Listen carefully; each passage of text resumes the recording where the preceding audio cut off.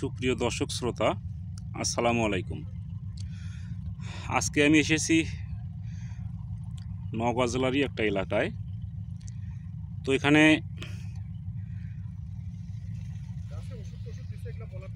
বর্তমানে যে গাছটা আমি দেখতে পাচ্ছি, এটা একটা শশার জাত।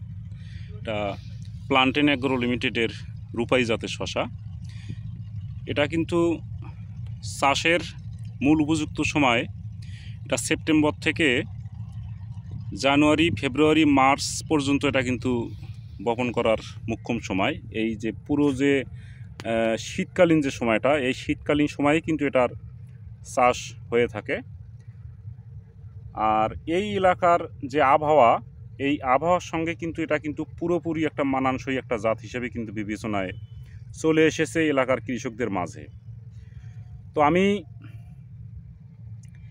এখানে শশা যে হয় এত পরিমাণ আর এই জাতটার ফলন এতটাই বেশি, তো এটা কী কারণে ফলন বেশি এবং কৃষকদের আগ্রহ এটার এটার উপর বেশি, সেই বিষয়টা নিয়েই আমি আজকে কথা বলব। তো আপনারা অবশ্যই ভিডিওটা গুরুত্ব সহকারে দেখবেন। তো আমি এখানে আরও একটা অবাক করার বিষয়, এই শশাটি কিন্তু মাটিতে করা হয়েছে এখানে। এখানে মাটিতে করা হয়েছে, পুরো জমিটা যদি দেখেন এটা দূর থেকে অনেকেই দেখলে হয়তো ভিডিওতে দূর থেকে দেখলে হয়তো মনে করবে এটা আলুর জমি না, আসলে এটা আলুর জমি না, এটা কিন্তু শশার জমি। তো আমি যদি এখানে দেখাই, এই যে শশা দেখতে পাচ্ছেন আপনারা, এই দেখেন, এক একটা ডালে কি পরিমাণ শশা কিন্তু ধরে আছে, প্রত্যেকটা গিটে গিটে কিন্তু ফল। আর দেখেন কি পরিমাণ শশা কিন্তু মাটিতে কিন্তু শুয়ে শুয়ে আছে।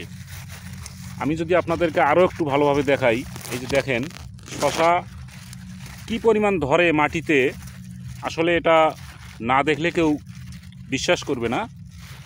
দেখতেই পারেন, আনাচে কানাচে চিপায় চাপায় কিন্তু অনেক শশা কিন্তু ধরে ধরে আছে, অনেক। দেখতেই পাচ্ছেন আপনারা, শুধু সেখানে পাতাগুলো উল্টোলেই কিন্তু শশা, পাতা উল্টোলেই শশা। বাইর থেকে বোঝার কোনো উপায় নাই যে ভিতরে কি পরিমাণ শশা আছে।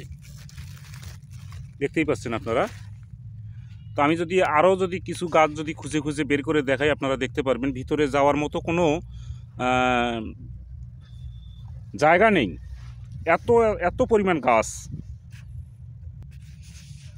আপনারা ভিডিওটা অবশ্যই পুরোপুরি না দেখলে কিন্তু বুঝতে পারবেন না। মাটিতেই কিন্তু এই, এইরকম শশা।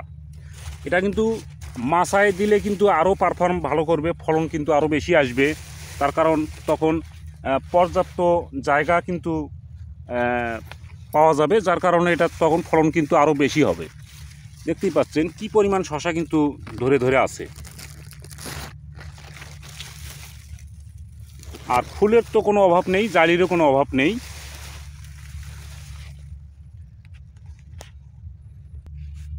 তবে সূর্যের আলোতে ভালো দেখা যাচ্ছে না আবসা দেখা যাচ্ছে, ঘোলা দেখা যাচ্ছে। তবে বিকেলবেলার ভিডিও হলে হয়তো ভালো হতো দেখতেই পাচ্ছেন আপনারা। এত পরিমাণ শশা কিন্তু ধরে ধরে আছে। আমি যদি এইখানে একটু দেখাই, শুধু পাতা উল্টেলেই শুধু শশা। আর এই গাছের বর্তমান বয়স কিন্তু ছত্রিশ দিন চলে। এটা কিন্তু আটত্রিশ, চল্লিশ দিনেই কিন্তু হারভেস্ট করা যায়। এই শশাগুলো কিন্তু এখন হারভেস্ট করলে করতে পারে, কিন্তু আরেকটু বড় হওয়ার জন্য উনি রেখেছেন। তো যাই হোক, আপনারা যদি দেখেন, তাহলেই এটার ব্যাপারে বুঝতে পারবেন। আর এই শশার কিন্তু গড় ওজন আপনার আড়াইশো থেকে তিনশো গ্রাম। সাড়ে তিনশো গ্রাম পর্যন্ত এটার স্থান ভেদে হয়ে থাকে গাছের ধরন অনুযায়ী, গাছের গ্রোথ অনুযায়ী এবং কৃষকের চাহিদার উপরই এই শশার সাইজটা নির্ভর করে। অসংখ্য শশা কিন্তু ধরে ধরে আছে। দেখতেই পাচ্ছেন আপনারা।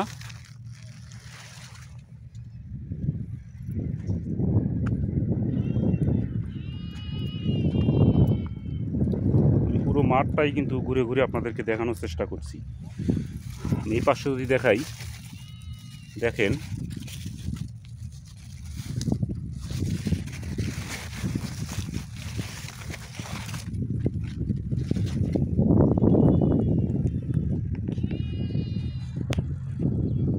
এখানে আমরা কিছু শশা কিন্তু উঠিয়ে নিচ্ছি।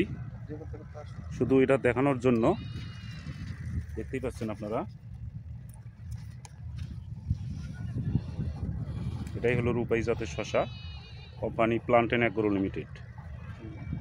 তো আমরা একটু দেখব, এটার মাপজোক দেখব যে কতটুক লম্বা এবং এর বেসটা কতটুক আর সম্ভব হলে আমরা ওজনটাও আপনাদেরকে দেখিয়ে দেব। আমি এখানে আরও একটা শশা দেখতে পেলাম। সেটা হলো এই একটা শশা দেখতেই পাচ্ছেন আপনারা। আমি এটাকে একটু দেখব। দেখলেন, এই হলো শশা।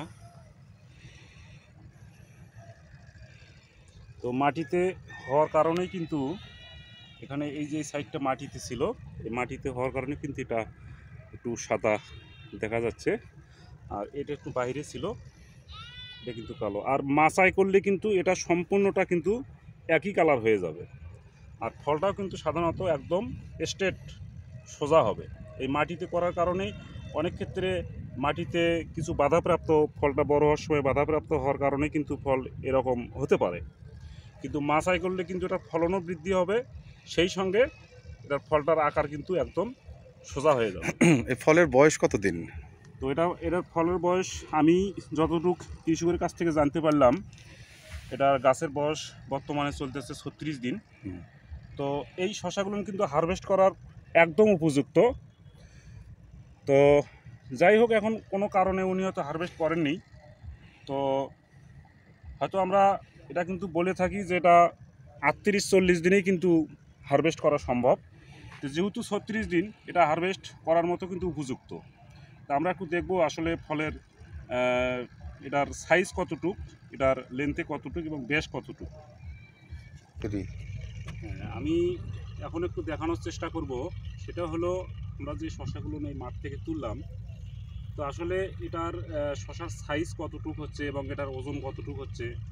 আর শশা আপনারা যদি দেখেন, এখানে কিন্তু, এটা কিন্তু গোটা শুদ্ধ কিন্তু গাছের সাথে কিন্তু সংযুক্ত আছে। তো আমি আপনাদেরকে দেখাই, দেখতেই পাচ্ছেন আপনারা, এখানে কিন্তু বোটার সাথে কিন্তু গাছের সাথে সংযুক্ত, আর এইগুলো কিন্তু আমরা তুললাম এখনই। আর এখানে কিন্তু অসংখ্য জালি কিন্তু গাছে কিন্তু এখনও কিন্তু দেখা যাচ্ছে। অনেক অসংখ্য শশা কিন্তু ধরে ধরে আছে। ভিতরে কিন্তু আরও দেখানো সম্ভব হচ্ছে না, ভিতরে অনেক গাছ বেশি। তো আমি একটু দেখব। তো এটার শশার যে মাপ, এটার কত সেন্টিমিটার লম্বা? আমি যদি এই সংযুক্ত যেটা, এটাই যদি দেখাই, এটা যদিও এখনও পরিপক্ক হয়নি, এটা কিন্তু প্রায় বিশ সেন্টিমিটার উনিশ সেন্টিমিটার লম্বা হয়েছে। উনিশ সেন্টিমিটার লম্বা আর এটা একটু পরিপক্কতা বেশি চলে এসেছে। এটা কিন্তু পুরোপুরি বিষ। ফলের বয়স কতদিন বললেন? ফলের বয়স চলতেছে এটা গাছের বয়স চলতেছে ছত্রিশ দিন আর ফলের বয়স কিন্তু চলতেছে হলো প্রায় আট দিন। আট দিন এটা যদিও এটা ছাব্বিশ সাতাশ দিনেই কিন্তু এটার ফুল চলে আসে। ফুল চলে আসে। আর সেই ক্ষেত্রে কুড়ি আসতে আসতে হয়তো দু একদিন সময় লাগে সেই ক্ষেত্রে ফলের বয়স কিন্তু প্রায় এক সপ্তাহ আট দিনের মতো। আচ্ছা এই শশাটা যে গতানুগতিক জাতগুলোর থেকে একটু লম্বা এই লম্বা হওয়ার কারণে এর সুবিধা কি অসুবিধা কি? এটা হলো লম্বা এবং এটার যে এই ফলের যে সাইজটা একটু চিকন। কতকগুলো শশা দিলে অন্যান্য জাত দিলেন আছে শিলে কিন্তু খাটো এবং মোটা। আর এই শশাটা লম্বা হওয়ার কারণে এবং চিকন হওয়ার কারণে এটার ফলের ওজনটা বেশি হয় এবং ফল ফলের ফলন বেশি। হ্যাঁ ফলন বেশি যার কারণে এটার গ্রাহকদের চাহিদাও বেশি। আচ্ছা আমরা তো সাইজটা দেখলাম এবার আপনি একটু ওজন করে দেখান তো। আমি একটু ওজন যদি দেখাই। আমি এখানে অ্যাভারেজে আমি চারটে শশা নিব। চারটে শশার গড় ওজন যদি আমি ধরি তাহলে অন করে নেন। হ্যাঁ অন বাটন হ্যাঁ একটু চাপ দিয়ে ধরেন হ্যাঁ জিরো হোক হুম এবার তুলে দেন। যদি আমি ওজনটা যদি দেখাই চারটে শশার এটার ওজন চলে আসছে এক কেজি পাঁচ গ্রাম। এটা অ্যাভারেজ গড় ওজন আমি যেটা বলেছিলাম যে আড়াইশো থেকে তিনশো গ্রাম হয়। তো এটাই কিন্তু আমি প্রমাণ করে দেখালাম। এখানে চারটে শশা দেওয়া আছে চারটে শশার কিন্তু ওজন এক কেজি পাঁচ গ্রাম। তাহলে অ্যাভারেজে আড়াইশো গ্রাম। আমার ওজন চলে আসতেছে আড়াইশো গ্রাম। আচ্ছা আমি যেটা শুনলাম যে মঞ্জু ভাই শশাটা সোমবারে তুলবে তাহলে কি এই দুই দিনে ওজন আর একটু বাড়বে না? হ্যাঁ আরও বাড়বে। প্রায় তিনশো গ্রাম হতে পারে। 300 গ্রাম হয়ে যাবে। আচ্ছা এইবার আপনি একটু কেটে দেখান তো ভিতরে কেমন। একটা শশা আমি একটু দেখাবো আপনাদেরকে। এই মাপ করা সবচেয়ে বড় যে শশাটা সেটাই আমি কেটে দেখাবো যে ভিতরে আসলে ফাঁপা আছে কি না আমি এটা যদি দেখাই। একদম বরাবর কাটেন।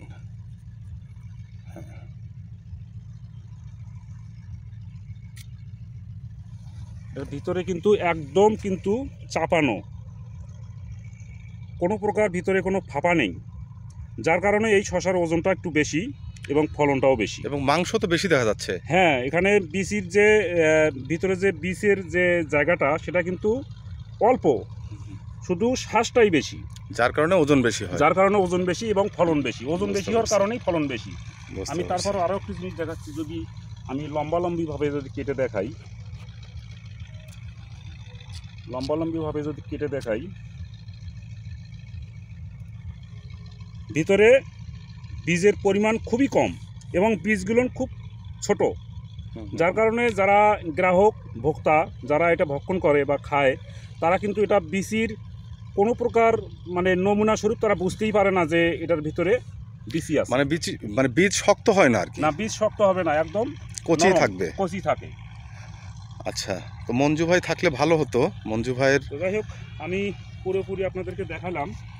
আপনারা যারা কৃষক ভাই আছেন তারা কিন্তু এই শশাটা লাগিয়ে কিন্তু লাভবান হতে পারেন এবং যারা লাগিয়েছে তারা কিন্তু অলরেডি কিন্তু এটার ফলাফল কিন্তু পেয়েছে। বিধায় এটার কিন্তু একটা ব্যাপক একটা আলোড়ন কিন্তু সৃষ্টি হয়েছে কৃষকদের মাঝে। তো আমি আপনাদের কাছেও বিশেষভাবে অনুরোধ করব আপনারা অন্যান্য জাতের থেকে এটার প্রতি আগ্রহী হন এবং ভালো ফলন পাবেন ইনশাল্লাহ আশা করা যায়।